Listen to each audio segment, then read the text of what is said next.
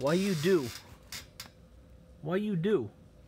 Th- those are Easter egg candy things. You can't eat those. Hi. You're just gonna rub your face on my camera. Thanks. It already smells like you. You don't need to put your scent pieces on it. What are you doing? The second I get my camera out to record him doing a thing, he immediately stops the thing. Utterly without fail. Thanks for stepping on my computer. Thanks. I really appreciate that. Are you gonna. Ah! graceful! Beautiful, beautiful, and graceful young man. Amazing. Thanks.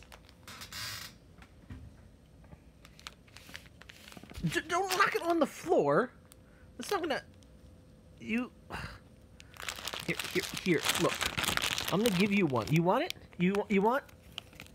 No, no. You have have. You want it? You can't eat. This is not a food for you. No, the ones inside aren't different.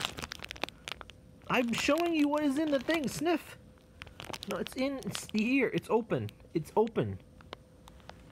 What are you doing? You having distress? Now what are you doing? You attacking the bed. There's no food in the bed either. Why? Why you do? Why you do? They're just M&Ms. They've done nothing wrong. Leave them alone. They're innocent of this crime, and you've rubbed your face on this M&M that I'm gonna have to throw away now. You still don't understand.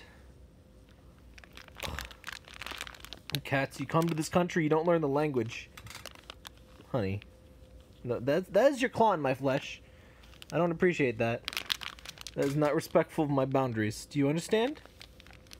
He understands. He's just giving a love, a love pat with his face and teeth. Thanks. Yes.